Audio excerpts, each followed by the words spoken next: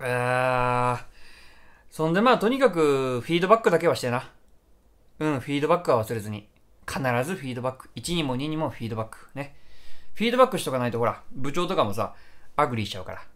うーん、部長がアグリーしちゃったらもう大変だから。部長がアグリーしちゃったらもうマターだから。大マター、大マターになっちゃうから、部長にアグリーさせないように必ずフィードバックして。ね。で、その時に、一緒にコミットメントもしてね。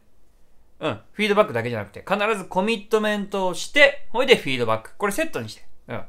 じゃないと部長がアグリして大股になっちゃうからね。うん。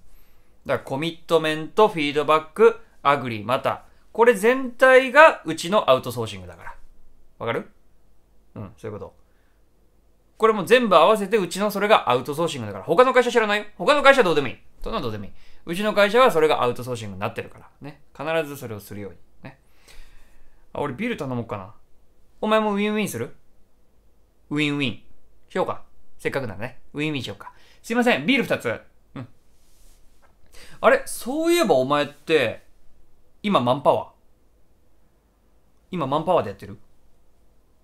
あー、マンパワーでやった方がいいよ。マンパワーじゃなきゃダメ。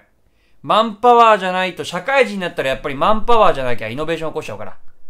うん、シナジーが足りなくて。絶対マンパワーじゃなきゃダメ。イノベーション起こしたら大変だよ。部長もまたアグリしちゃうから。んで、大股になっちゃうから。うん。だからシナジーが足りないことは絶対ないように。うん。必ずマンパワーでやるように。マンパワー、マンパワー、マンパワーで。うん。ああ、ありがとうございます。じゃあ改めて、お疲れです。あー、いやー、ナイスメソッド。